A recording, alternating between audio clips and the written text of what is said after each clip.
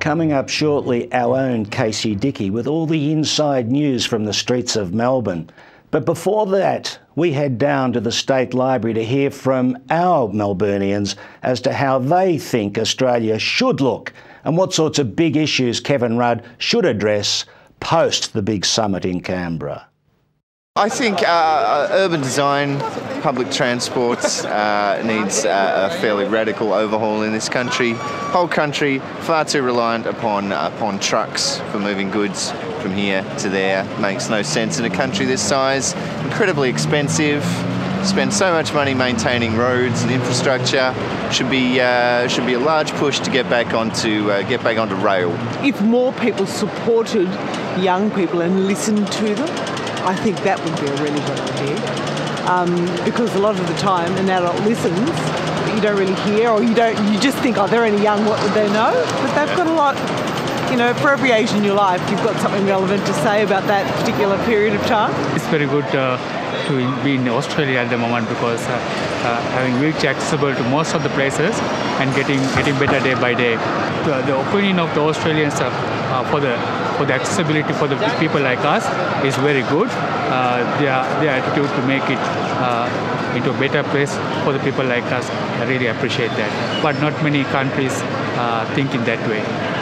I don't think like the simulation is a good idea, but I think we should have something like if people are coming here, rather than just forming their own like little communities and stuff, it'd like be a good idea for them to um, maybe they have some kind of program where like we can integrate them better, like like because like people come here to get not to get away from their own cultures, and so it's fine if they're um, if they're like sticking together and stuff. But I think they need to have like an Australian sort of way of life, you know.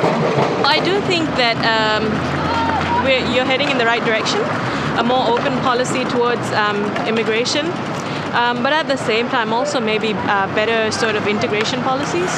Sometimes, you know, in the citizenship test, you need to know things that even um, Australians don't know, so that doesn't seem quite fair to me. But otherwise, um, just to make sort of the, the process a little smoother, not so much red tape. I would suggest that maybe mental health be given a lot more of a priority. Like it leads to so many other things, for example, like um, like smoking or whatever, and cardiovascular disease are the biggest killers sort of in the country. But they have their root in um, sort of psychological disorders or a psychological deficit, you know, and so to treat the um, to treat the illness at the back end of it might be a lot smarter than trying to treat it when it's right there and someone's on their deathbed, you know, in the hospital using up resources. Treating them, the Aborigines as equals. I've worked with Aborigine men in far north Queensland. They're strong, tough guys, really nice people. Um, proud, great workers. Education, that's the key to it, for sure. Um, something to do. I hope all this money they're making off mining, they'll um, channel it back to their children. Um, it's really hard. we we absolutely kick the shit out of them. It's going to take a few generations before they uh, get some self-esteem and pride as a race get rid of all the people and give it back to the animals. I think it's the best thing that could ever happen. Then we'll get the water cleaner, we'll get the air cleaner, we'll have no pollution, and the place would be livable for the animals. Something a bit more positive about the uh, the carbon issue. You know, I think we could go as far as having personal carbon trading as much as you know, uh, for the corporate sector, so that you and I have to limit how much carbon we use.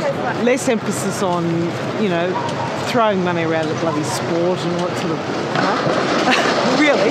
There is a need of like investment in any kind of sport because it motivates people to come into the sports and participate and all that. Yeah, it shouldn't be like going all the money up there and, and just in cricket or in football or like whatever sport. There should be some limits. I've been around a long time. I've, I've seen uh, Labor coming in and rejuvenating and sparking great new ideas. I hope this time it will actually achieve something and makes Australia a better place. Thanks, Phil. There are outstanding industrial grievances at Boeing subsidiary Hawker de Havilland. The legal facts of the Boeing dispute are as follows. On Monday, the 7th of April, the AIRC issued a recommendation that employees attend work as per their rostered shifts. On Tuesday, the 8th of April, the AIRC issued an order to employees not to engage or threaten to engage in industrial action.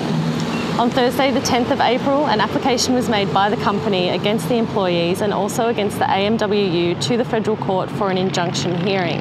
Details included in the application were, in summary, for the employees and the AMWU to be restrained from engaging in, organising, procuring, or encouraging industrial action before the expiry of the current collective agreement, for compensation to be paid to the company, and for penalties to be imposed. Friday the 11th and Monday the 14th of April saw that hearing take place. I had a look at the transcripts online and in summary it backed up the previous order from the Commission so it was basically an order for the employees to return to work and for the union to advise the members that they return to work and to advise that their current refusal not to is not authorised or encouraged by the AMWU. The trial is to take place on, at 10am on May the 7th. We spoke with Boeing's media representative Ken Morton regarding the case. He said that Boeing has followed every step of the agreed procedures regarding dismissals. They are alleging that the union led the workers out on strike. Their prime concern is to get employees back to work. Boeing has issued proceedings against the employees contempt of court, and Boeing is currently reserving its position regarding suing for damages. Boeing has communicated to its employees that any employee who returns to work and stays at work for the life of the current collective agreement will have all legal proceedings dropped. In other news, 300 workers at Fisher and Paykel in Brisbane were told last week that their jobs were going offshore to Thailand. It came as a complete surprise to their union, who had no idea that this was even on the table. Note this one down in your diaries. Anyone who helped out at the waterfront dispute 10 years ago is invited to come along to the MUA rooms on Friday the 9th of May at 6.30pm to swap war stories.